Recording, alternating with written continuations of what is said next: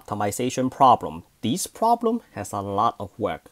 Although the problem looks very simple, let's read the problem. Find the area of the largest isosceles triangle that can be inscribed in a circle of radius. I want you to solve by writing the area as a function of h. So let's take a look at the picture. We have a circle and then we have an isosceles triangle. What is isosceles? Isosceles means these two sides have the same length. So this length and this length are the same. And also this angle and that angle, they are the same. All right, can be inscribed in a circle of radius. All right, so let's uh, find we are trying to find the area, find the area. So that means the primary equation must be related to area. What is the area of a triangle? The area of a triangle is base times height divided by 2, right? But there is a problem. The problem is we don't have base, we don't have height. So how do we find the base and height? First, let's take a look at this dot. This dot is the center of a circle, right? So that means 6 is my radius from the center to the edge of a circle. So I am going to draw a triangle right here, this one, right there. So I'm going to draw that triangle. And then we know that 6 is the radius. And this one, I am going to call that h. And then uh, we have the base, the base we don't know. All right. So what is the relationship of these three sides? So this is a right triangle. The relationship is using Pythagorean theorem is we don't know this the square of the unknown quantity plus the square of the height equals to the square of 6 all right so uh what is this represent this represents the half of the base of the triangle or I mean half of the base of the isosceles triangle and this one is also the base of this small triangle. So let's put this in terms of the question mark. So this question mark is equals to 36 minus x square, right? Or let's just keep that as a 6 square. So 6 square and then that is equals to the square root of 6 square minus h square. So this is the base of the small triangle. What about the isosceles triangle? So for the isosceles, then the base will be 2 times the square root of 6 square minus h square. So that will be the base of the back triangle, right? Uh, what about the height? What is the height?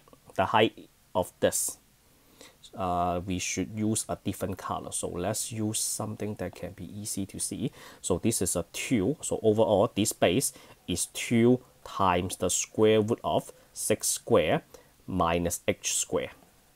And then what about this height? This height right there. The height is so this is my h, this is the center. So that is uh so from the center to the edge of the triangle, that is uh, also 6. So the height will be 6 plus h. So now let's write the secondary. So what's the secondary? So the secondary basically is here. This is the secondary. So which is that square plus h square equals to 6 square. And then what about the primary? The primary is area equals to, oh, that one is too hard to see, right? So the area is equals to, area is equals to base times height divided by 2, which is multiplied by 1 half, and then the base is 2 times the square root of 6 square minus h square, and the height is 6 plus h. Alright, so that is my area. And then the next step is we have to take the derivative, set that equals to zero, and then find the critical number. That is a lot of work, trust me. So let's start the derivative. So the primary is a. They want me to do it in as a function of x. So a of h, that is 1 half times 2 times the square root of 6 square minus h square. And then we have 6 plus h, only one variable. So we are ready to move on. So a of h that is equals to the square root of 6 square minus h square and then times 6 plus h. So this one we will take the derivative right here using product rule. So still remember the product rule, fg prime plus gf prime. So a prime h, a prime of h. So that will be the square root of 6 square minus h square. The derivative of that is equals to 1 and then plus g, which is 6 plus h, the derivative of the square root, you bring this 1 half down, 6 square minus h square negative 1 half. Using chain rule, the derivative of 36 minus h square is multiply negative 2h. All right, and then we try to factor this. So since we have um,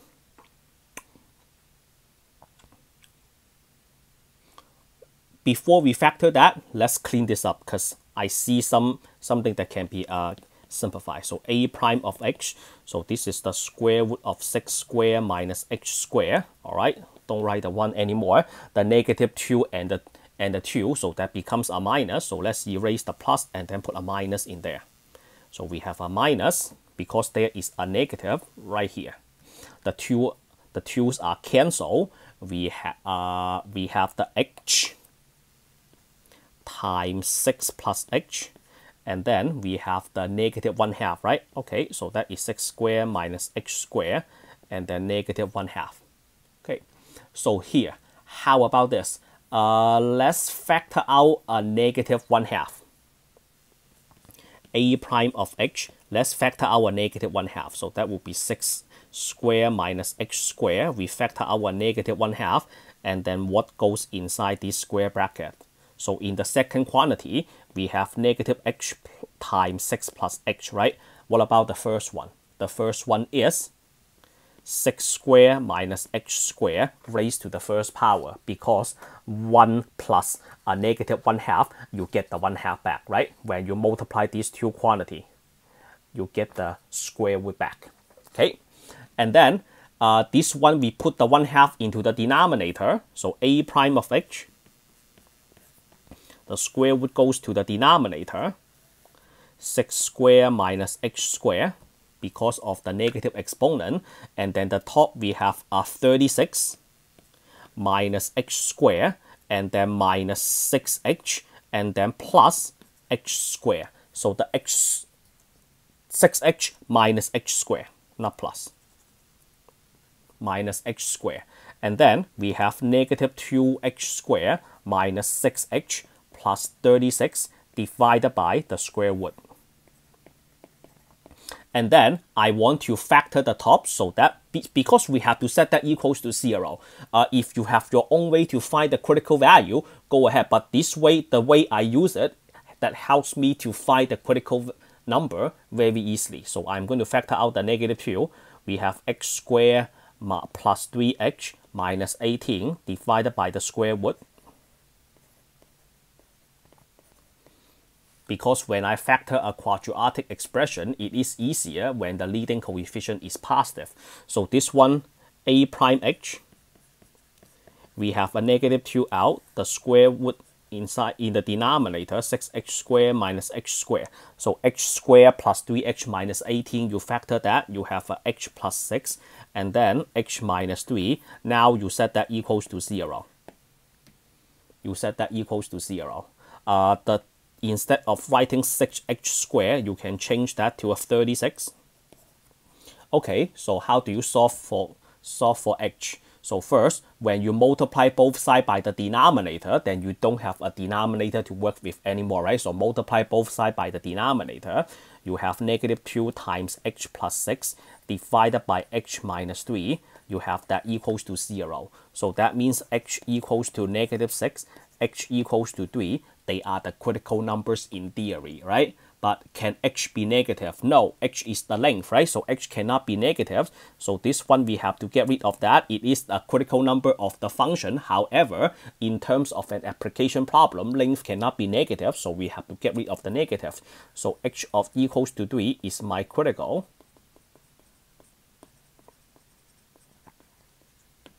number. Right?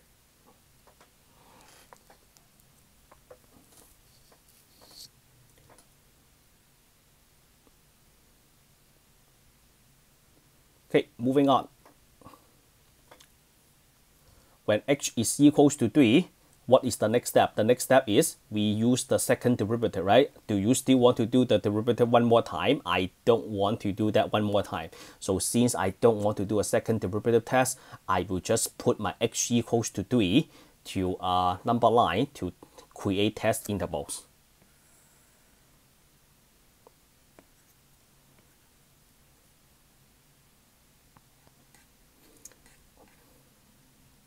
So when h is equals to 3, we have that right here. h cannot be negative, right? So everything less than 0, we can ignore that. That creates two intervals from negative infinity to 3 and then from 3 to positive infinity.